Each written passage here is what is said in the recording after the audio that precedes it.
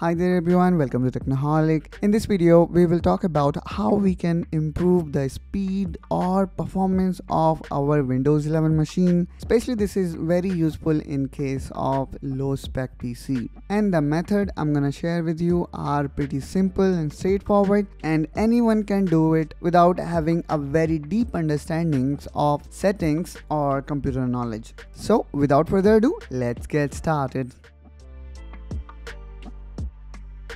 Okay so here we can see this is our desktop and if I press menu button here you will see a lot of apps now you might have seen in some phones um, they also comes with lot of bloatware Similar is the situation with Windows as well. So here you will see there are ton of apps that I am never going to use them. For example, Sudoku. I don't play it and I never ever have opened it. So what I'm gonna do is I'm gonna delete all these bloatware from my system that will eventually improve the performance of my system. So this is going to be our first step in our journey. So let me make a right click here and then click on install.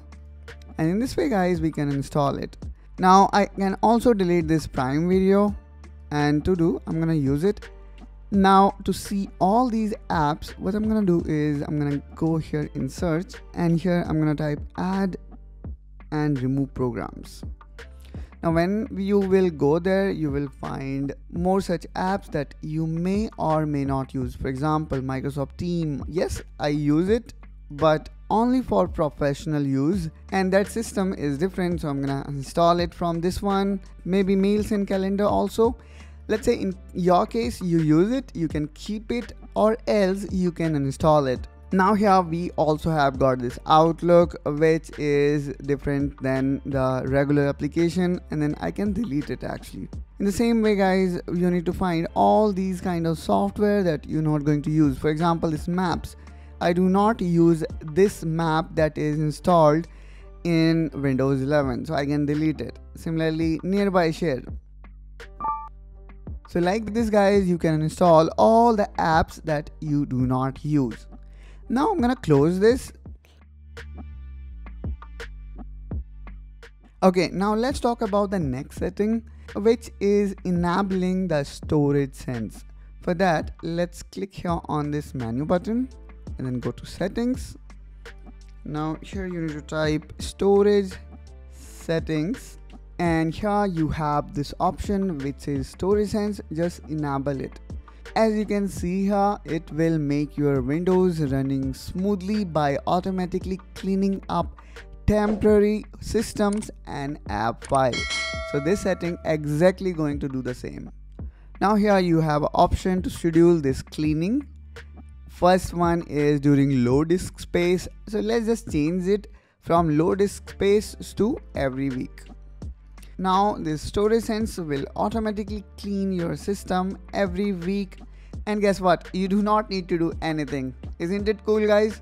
Okay now I'm gonna talk about the next setting here which is adjusting our system for the performance. For that simply click here on menu button. You need to search for this particular one so I just wrote adjust and then you can see the setting arrive which is adjust your system for either performance or appearance. So i'm gonna choose the thing which is in between both but let's say the performance is your only dire need. So you can simply select here adjust for best performance and simply click on apply so what this setting going to do is it going to minimize the animation and visual effect and going to improve the performance of your system so here you can see I can only see the outline of this window. So this is one of the difference that you can immediately notice. But let's say you want to enable some of these options. For example, you want to make smooth scroll list box or um, you know you want smooth edge of screen font.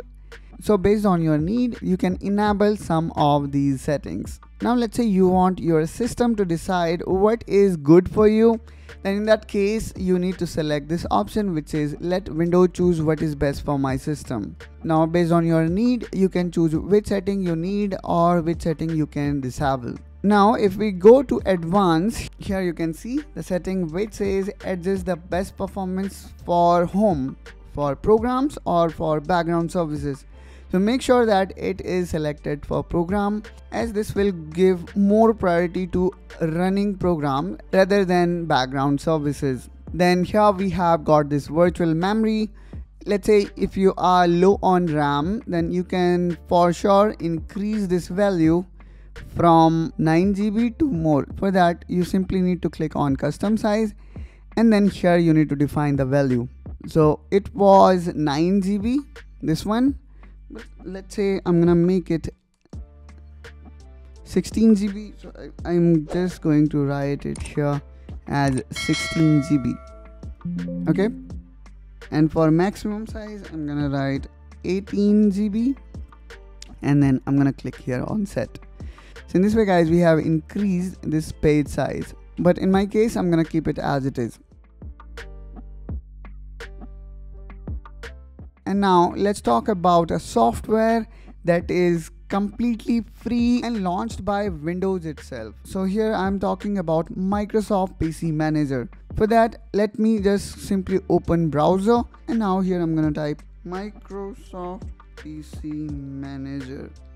Now simply click on this first link and now click here on download. And not to worry guys, I'm gonna also provide this website link in the description of this video. From there also you can directly reach to this page. Now we have downloaded this setup. Now I'm gonna simply open it and run it. And now I need to click here on I accept and install it.